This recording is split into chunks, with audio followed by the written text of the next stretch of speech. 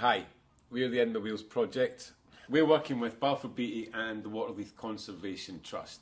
We plan to make a safe and welcoming space with a Gaudi inspired bench as a centrepiece, a skate plaza surrounded by planters to encourage wildlife such as butterflies and bees.